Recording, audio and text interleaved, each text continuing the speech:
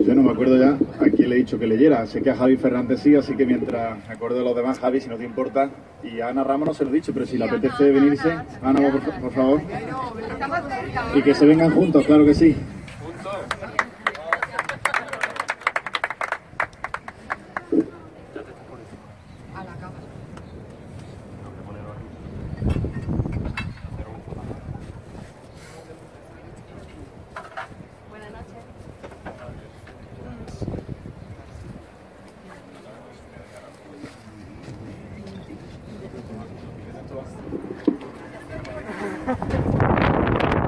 Bueno, el día que hice el de está bonito.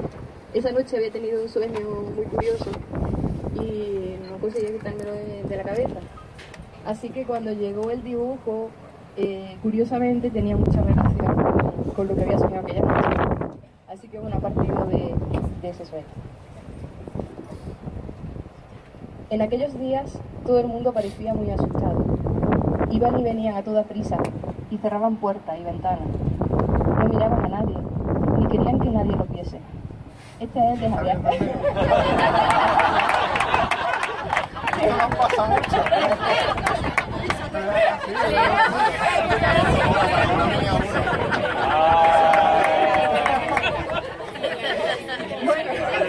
Yo estaba diciendo, qué bonito.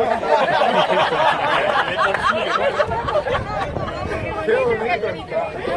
No pasa nada. ¿Voy bien? Bueno, empiezo, ¿vale? En aquellos días todo el mundo parecía muy asustado. Iban y venían a toda prisa y cerraban puertas y ventanas. No miraban a nadie, ni querían que nadie los viese. Una noche separé con disimulo las cortinas para observar los edificios negros. La calle muda y desierta. Sobrecogido, encendí un cigarrillo y la débil luz rasgó fugazmente la oscuridad. Al instante, un violento estrépito inundó la vecindad. Todos corrieron al unísono a esconderse en el armario.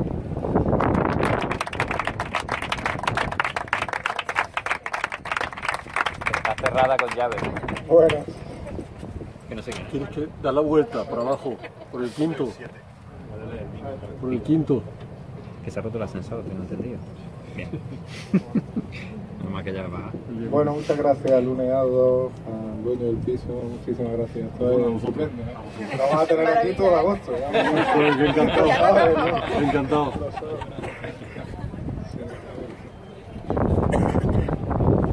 Bueno, yo eh, cuando llegó el paquetito, esa noche soñé y salió esto.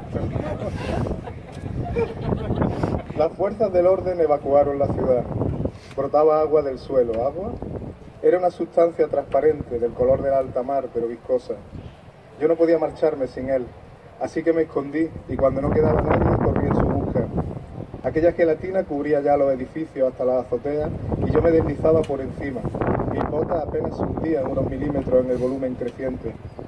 Las calles habían quedado sepultadas allí abajo. Lo encontré en el parque que hay sobre la colina, bebiendo solo, sentado en los escalones del kiosco de la música que aún escapaban a la inundación. Me senté a su lado. Vimos cómo el agua se tragaba las farolas más altas, los árboles, las antenas. Apuramos en silencio la botella, nuestros ojos inmersos en el azul.